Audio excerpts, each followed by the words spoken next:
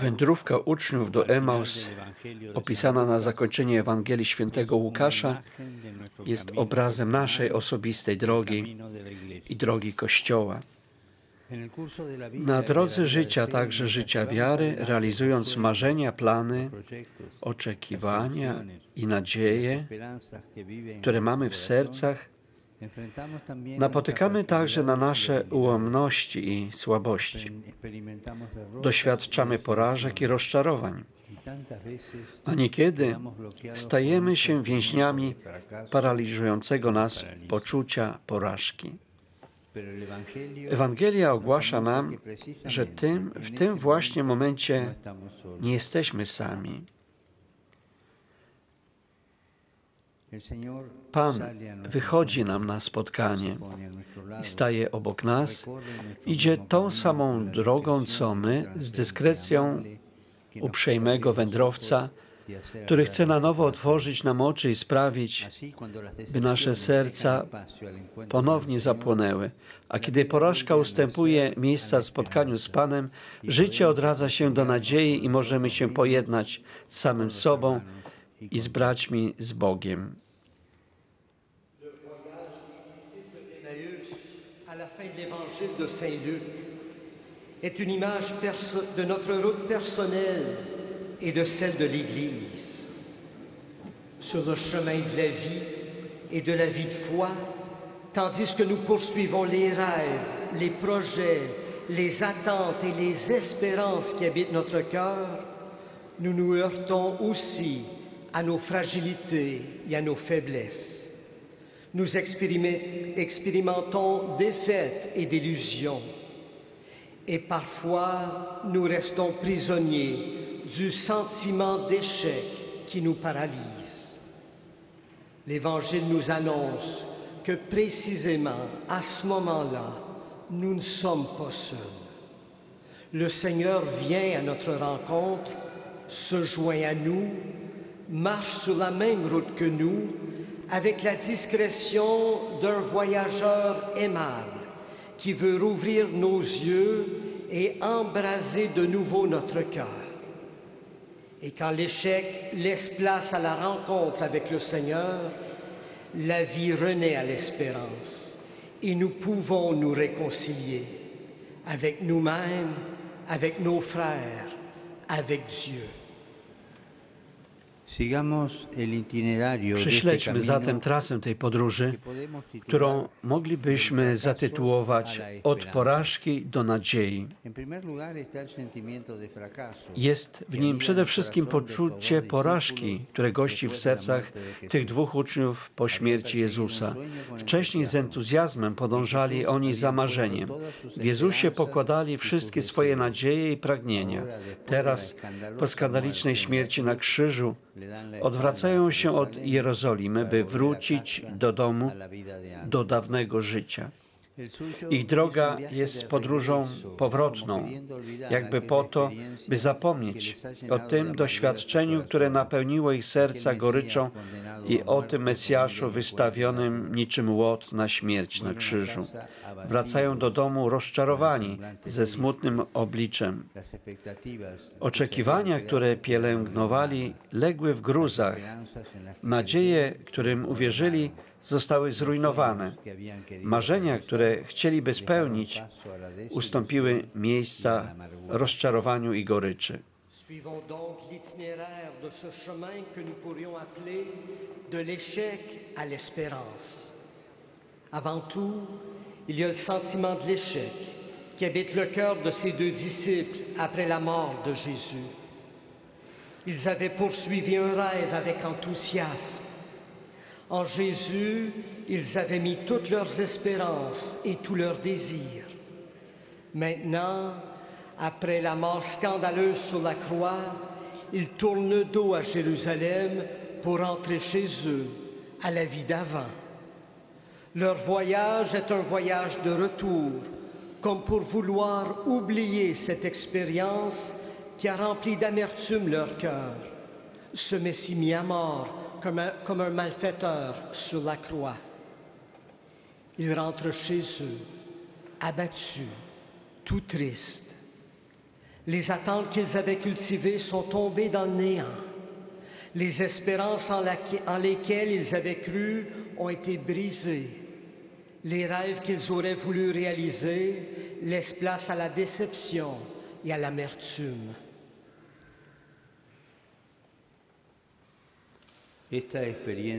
Jest to atañe doświadczenie, które dotyczy również naszego y mismo życia i tej samej drogi duchowej w tych wszystkich przypadkach, w których jesteśmy zmuszeni do reorganizacji naszych oczekiwań i uporania się z niejednoznacznością rzeczywistości, z mrokami życia, z naszymi słabościami. Dzieje się tak za każdym razem, gdy nasze ideały zderzają się z rozczarowaniami życia, a nasze intencje są lekceważone z powodu naszych słabości. Gdy pielęgnujemy dobre plany, no a potem nie potrafimy ich zrealizować, gdy w naszych działaniach, które spełniamy, lub naszych relacjach prędzej czy później doświadczamy jakiejś porażki, jakiegoś błędu, niepowodzenia lub upadku. Widząc, jak rozpada się to, w co wierzyliśmy lub w co się zaangażowaliśmy, czując się przygniecieni naszym grzechem i poczuciem winy.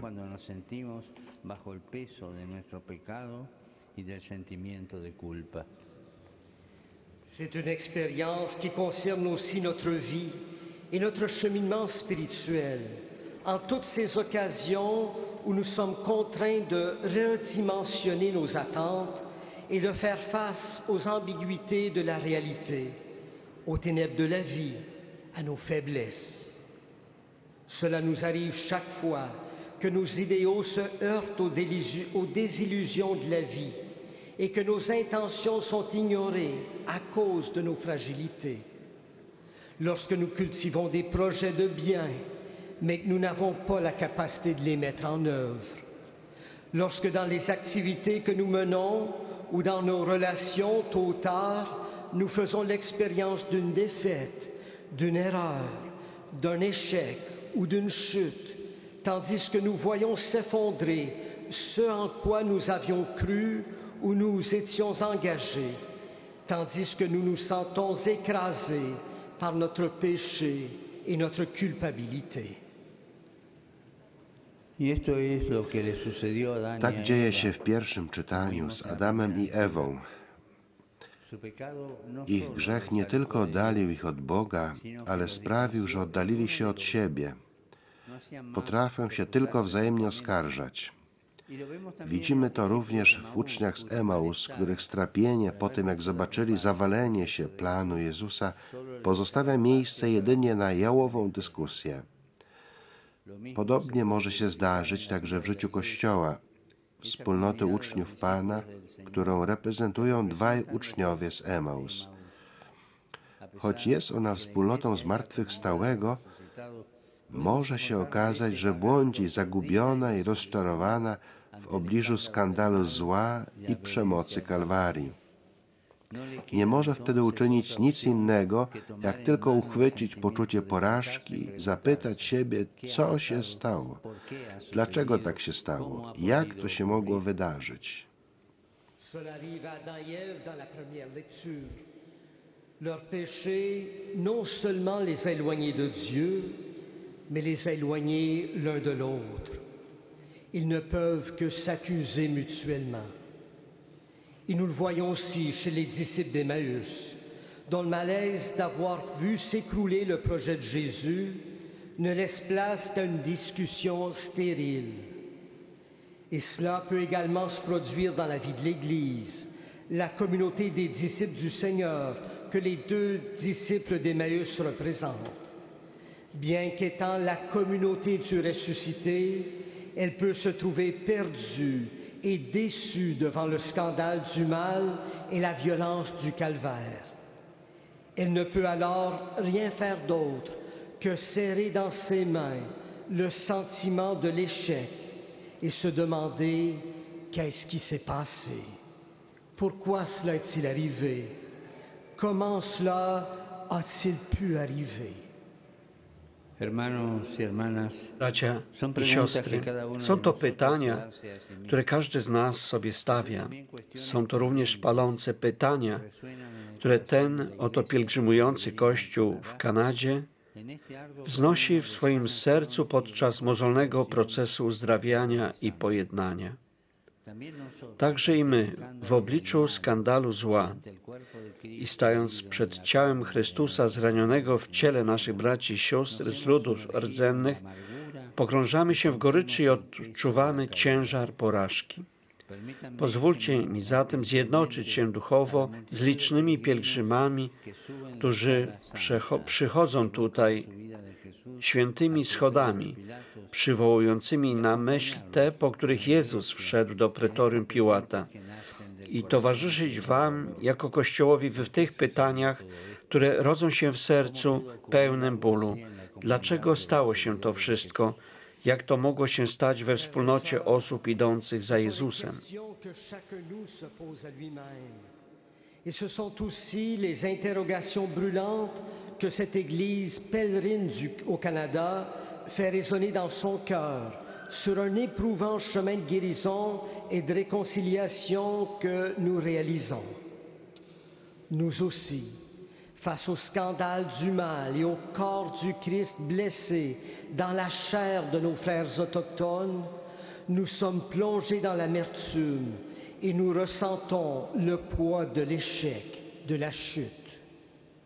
Permettez-moi alors de m'unir spirituellement aux nombreux pèlerins qui parcourent ici la Scala Santa, qui évoque cette montée de Jésus au prétoire de Pilate, et de vous accompagner en tant qu'Église dans ces interrogations qui naissent du cœur chargé de douleur.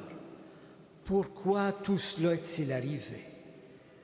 Comment cela a-t-il pu se produire dans la communauté de ceux qui suivent Jésus? Y Musimy jednak uważać przy tym na pokusę ucieczki, obecną w dwóch uczniach z Ewangelii, by cofnąć się, uciec z miejsca, w którym to się wydarzyło, próbować wymazać te wydarzenia, szukać spokojnego miejsca, takiego jak Emaus, byle nie myśleć o tym. Nie ma nic gorszego w obliczu niepowodzeń życiowych niż ucieczka po to, by nie stawiać im czoła. Jest to pokusa nieprzyjaciela, który zagraża naszej drodze duchowej i drodze Kościoła. Chce on, abyśmy uwierzyli, że owa porażka jest już ostateczna. Chce nas sparaliżować w goryczy i smutku, przekonać, że nie można już uczynić nic więcej i więc nie warto szukać drogi, by zacząć od nowa. Nous devons être attentifs à la tentation de la fuite présente chez les deux disciples de l'Évangile.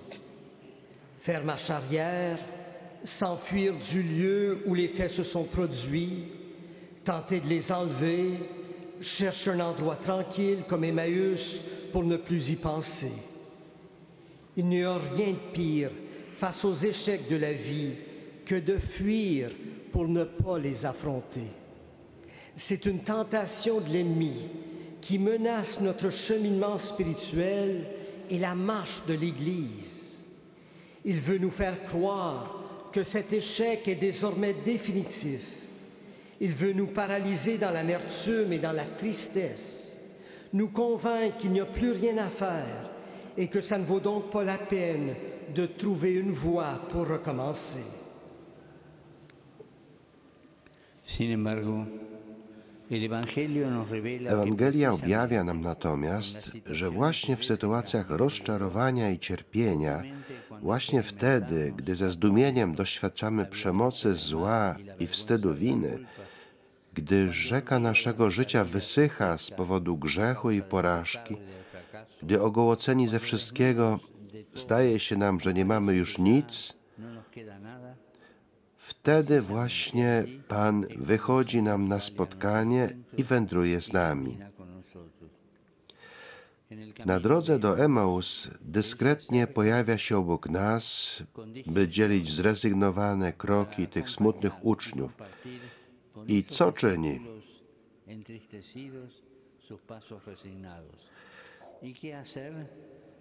Nie oferuje on ogólnikowych słów zachęty, okolicznościowych wyrażeń czy łatwych pocieszeń, ale odsłaniając w świętych pismach tajemnicę swej śmierci i zmartwychwstania, rzuca światło na ich historię i na wydarzenia, których doświadczyli. W ten sposób otwiera im oczy na nowe postrzeganie spraw. Również my, którzy w tej bazylice dzielimy w Eucharystii, możemy na niej odczytać wiele wydarzeń historii. Na tej samej ziemi stały wcześniej trzy świątynie i byli tu ci, którzy nie uciekli przed trudnościami, którzy wrócili do marzeń, pomimo własnych i cudzych błędów, którzy nie dali się pokonać niszczącemu pożarowi sprzed stu lat i z odwagą i kreatywnością zbudowali te świątynie. A ci, którzy dzielą się Eucharystią na pobliskiej równinie Abrahama, mogą również poczuć ducha tych, którzy nie dali się pojmać w niewolę nienawiści wojny, zniszczenia, cierpienia, ale potrafili raz jeszcze zaplanować miasto i kraj. L'Évangile nous révèle au contraire que précisément dans les situations de délusion et de douleur, précisément lorsque nous expérimentons avec stupéfaction la violence du mal et la honte de la faute, lorsque le fleuve de notre vie se dessèche à cause du péché et dans l'échec, quand dépouillés de tout, il nous semble que nous n'avons plus rien, précisément là, le Seigneur vient à notre rencontre et marche avec nous. Sur le chemin d'Emmaüs, il se joint avec discrétion pour accompagner et partager les pas résignés de ses disciples tristes. Et que fait-il? Il n'offre pas des paroles d'encouragement génériques, des expressions de circonstance, des consolations faciles, mais en dévoilant dans les saintes écritures le mystère de sa mort et de sa résurrection, il éclaire leur histoire et les événements qu'ils ont vécus. Ainsi, il ouvre leurs yeux à un nouveau regard sur les choses. Nous aussi, qui partageons l'Eucharistie dans cette basilique, nous pouvons relire de nombreux événements de l'histoire. Sur ce même lieu, il y avait auparavant trois temples. Il y avait ceux qui n'ont pas fui devant les difficultés, qui ont rêvé de nouveau malgré leurs erreurs et celles des autres. Ils ne se sont pas laissés vaincre par le terrible incendie de ce sanctuaire et, avec courage et créativité, ils ont reconstruit ce temple.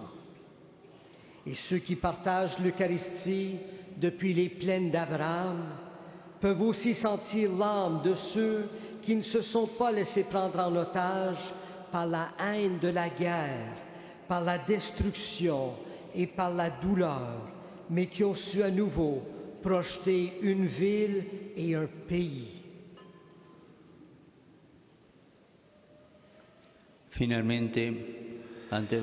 Wreszcie wobec uczniów z Emaus Jezus łamie chleb, ponownie otwierając im oczy i ukazując się po raz kolejny jako Bóg miłości, który oddaje życie za swoich przyjaciół. W ten sposób pomaga im wyruszyć ponownie z radością, zacząć na nowo, przejść od porażki do nadziei. Bracia i siostry, Pan chce uczynić to samo także z każdym z nas i ze swoim Kościołem. W jaki sposób nasze oczy mogą zostać na nowo otwarte, w jaki sposób nasze serca mogą znowu zapłonąć w nas dla Ewangelii.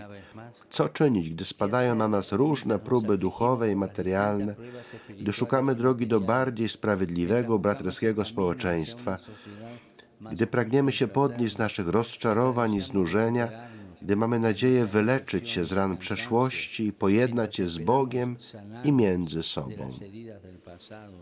Y con Dios y entre nosotros, Enfin, devant les disciples d'Emmaüs, Jésus rompt le pain, rouvrant leurs yeux et se montrant encore une fois comme le Dieu de l'amour qui donne sa vie pour ses amis.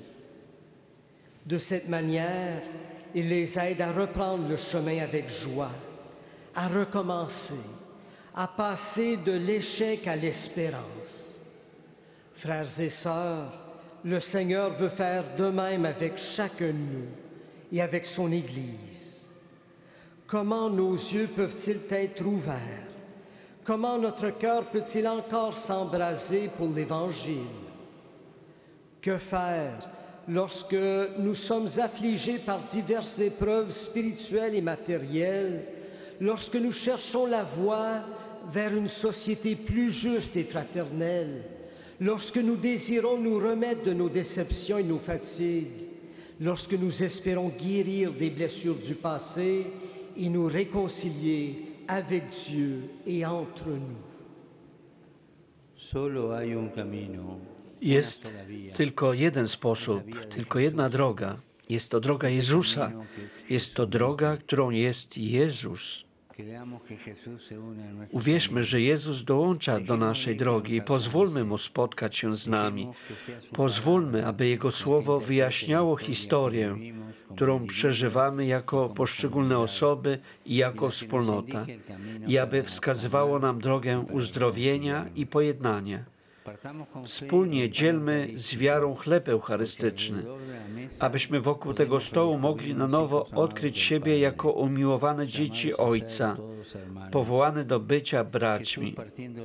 Jezus, łamiąc chleb, potwierdza to, co uczniowie otrzymali wcześniej poprzez świadectwo kobiet, a w co nie chcieli uwierzyć, że zmartwychwstał w tej bazylice, w której wspominamy Matkę Maryi Dziewicy i w której znajdujemy również kryptę poświęconą niepokalanemu poczęciu, nie możemy nie podkreślić roli, jaką Bóg chciał przyznać kobietom w swoim planie zbawienia.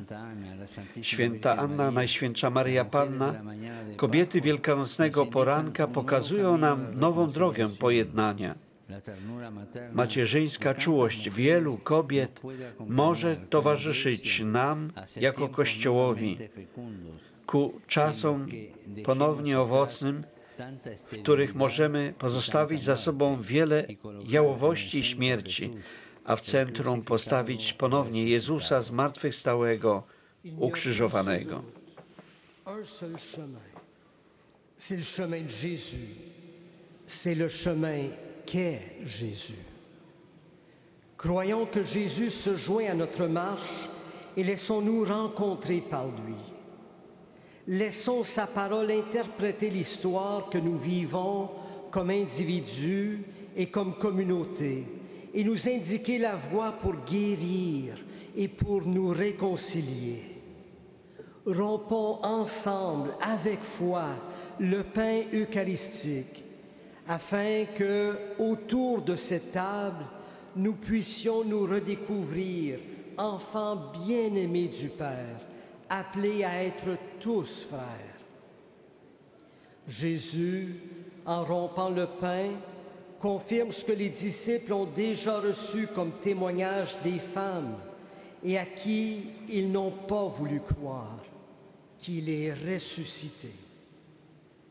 Dans cette basilique où nous, nous nous rappelons de la mère de la Vierge Marie et où se trouve également la crypte dédiée à l'Immaculée Conception, nous ne pouvons que souligner le rôle que Dieu a voulu donner à la femme dans son plan de salut. Sainte Anne, la très sainte Vierge Marie, les femmes du matin de Pâques nous indiquent une nouvelle voie de réconciliation. La tendresse maternelle de nombreuses femmes peut nous accompagner comme Église vers des temps à nouveau féconds où nous laisserons derrière nous tant de stérilité et nous remettrons au centre Jésus, le crucifié ressuscité.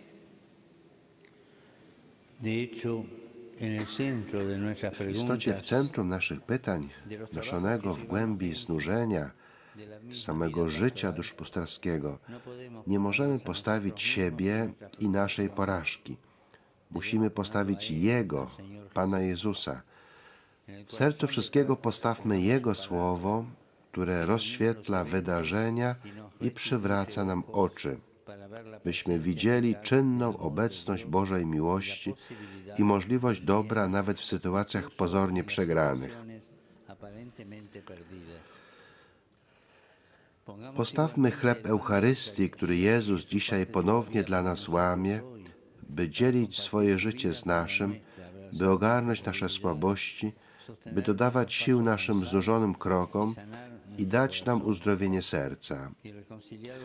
A pojednani z Bogiem, z innymi ludźmi, z samymi sobą, możemy także i my stać się narzędziami pojednania i pokoju w społeczeństwie, w którym żyjemy. Au centre de nos questions, des peines que nous portons en nous, de la vie pastorale elle-même, nous ne pouvons pas nous centrer sur nous-mêmes et nos échecs.